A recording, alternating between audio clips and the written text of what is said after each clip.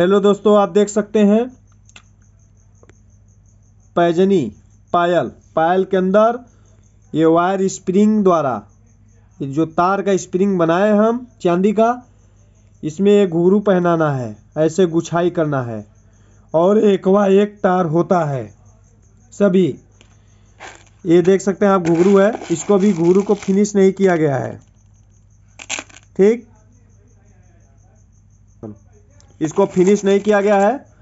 ये घुघरू है। तो गुथाई करने के बाद इसको फिनिश कर दिया जाएगा। या ब्रश से सफ़ा कर लीजिए, या वाइब्रेटर कर लीजिए पॉलिश कर दीजिए, कुछ भी कर दीजिए, हो जाएगा। ये पायल है। कभी कभी पुराना पायल भी आता है, उसमें घुघरू लगाने के लिए, और ये नए पायल में भी घुघरू लगता है, जो पैजनी होता है, विवाह और शादी में जो जाता है।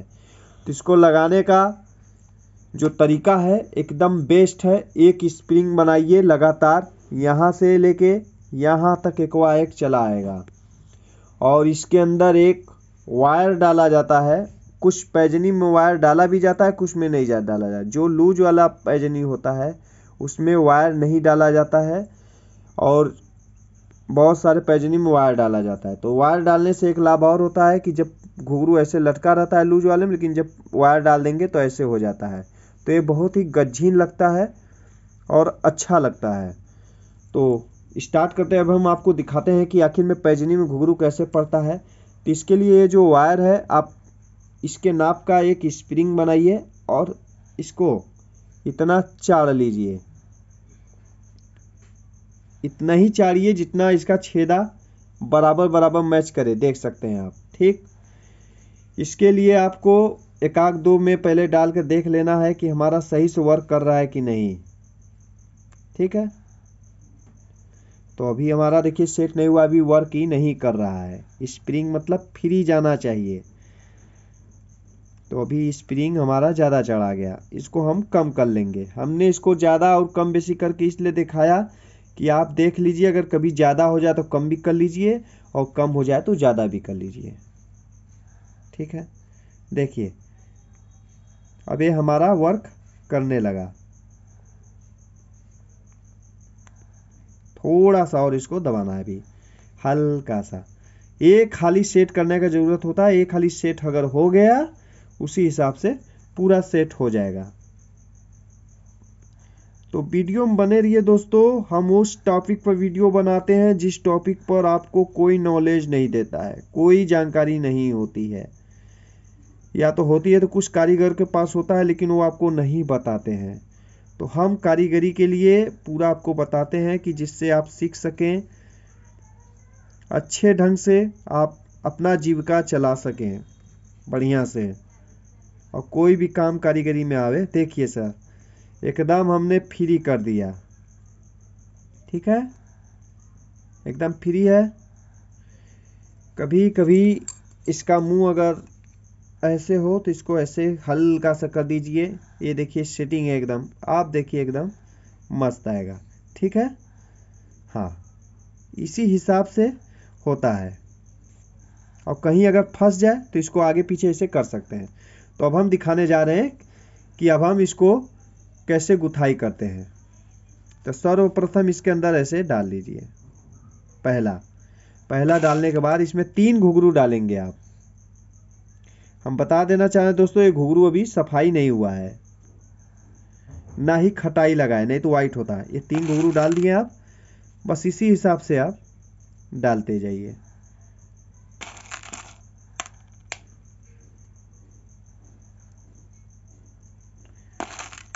देखिए, कितना आसानी से गुथाई हो रहा है। तीन तीन घुघरू आप डालते जाइए।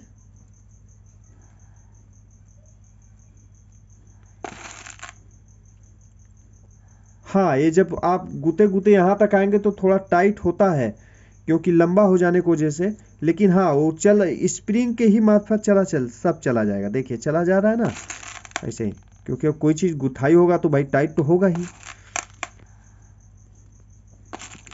तो पायल अपना सीधा करते चले जाएँगे और ये अपना वर्क करता चला जाएगा। तो ये तो हम राइट से स्प्रिंग बनाए हैं, आप लेफ़्ट भी ऐसे बना सकते हैं। वो आपके सुविधानुसार है, हमको अच्छा लगता है राइट से तो हमने ऐसे इस हिसाब से इसको मूवमेंट कर रहे हैं, इस हिसाब से आप लेफ़्ट से भी कर सकते हैं। तो आपके हाथ बैठने पर डिपेंड करता है। तीन तीन दाना बस डालते चले रहिए। देखिए, हो गया एकदम आराम से।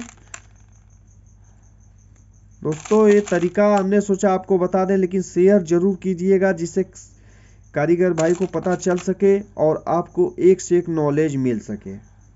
और हमारे चैनल को सब्सक्राइब कर लीजिए।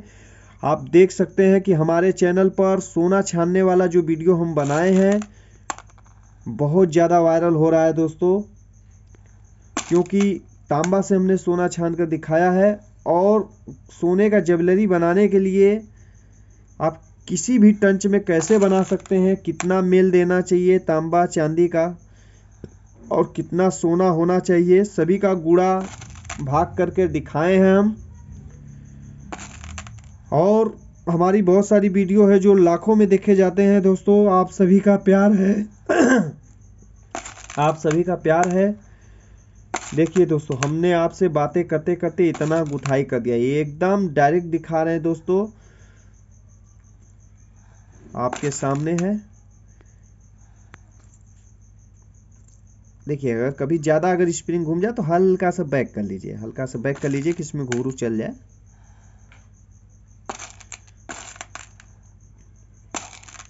ये दिखाने दिखाने में थोड़ा समय लग रहा है दोस्तों, नहीं, बहुत ही फास्ट गुथाई होता है इसको। और स्प्रिंग को हम तानते जाएँगे इसके अनुसार और इसको लगाते जाएँगे। अब देखिए, थोड़ा सा भी स्प्रिंग अब हमको और तानना पड़ेगा। ये है इतना। इसको ज़्यादा नहीं तानना है, क्योंकि ज़्यादा तानेंगे तो फिर घुमाने में थोड़ा दिक्कत होता है। थोड़ा थोड़ा आप करते जाएँगे, होता चला जाएगा। तो देख सकते हैं, अभी भी एकदम मूवमेंट एकदम मस्त चल रहा है।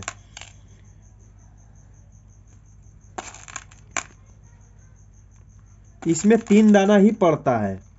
तीन दाना ही पड़ेगा इसके अंदर, और इसके बाद इसको क्लीन आप कर सकते हैं। तो क्लीन करने का भी बहुत सारा हमारे वीडियो पर बना हुआ है दोस्तों। एक बार ज़रूर आप देखिए। दस मिनट का समय ही निकाल कर कम से कम कोई भी वीडियो देखिए अच्छा लगे तो लाइक और शेयर सब्सक्राइब ज़रूर कीजिए।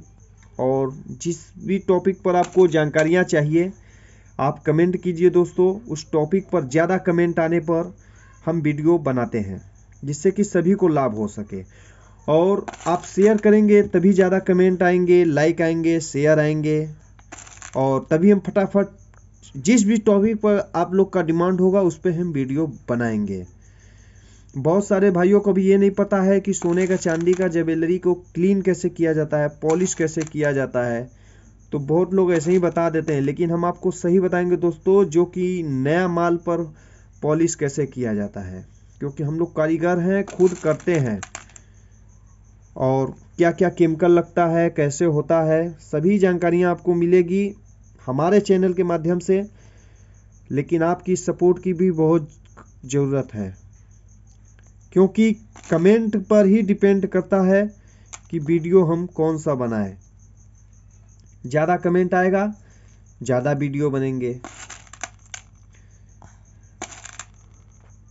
आप देख सकते हैं, अभी हम यहाँ तक पहुँच गए गुते गुते कुछ नहीं करना है, बस तीन तीन डालते जाइए, हल्का सा घुमाते जाइए। बस हो गया। आराम से घुमाइए, कोई दिक्कत नहीं है। आप देख सकते हैं, यहाँ तक आ गए, हमारा सफ़र हो गया। और ये वायर डालना भी बहुत आसान है। ये वायर डालना, ये देख सकते हैं आप। इसके यहाँ से, ये जब काट देंगे, अभी तो मान लीजिए नहीं जाएगा ऐसे, या तो इसके अंदर से डाल कर दिखा सकते हैं हम आपको।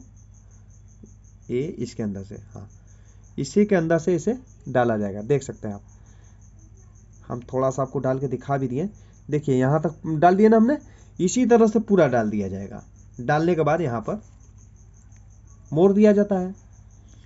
तो बहुत ही आसान काम है घुघरू पहनाना। लेकिन जिस भाई को अगर नहीं पता है तो करते का है? अलग से तार लेते हैं और एक एक में डाल डाल के खींचते हैं, जिससे कि पैजनी का सत्यानाश हो जाता है।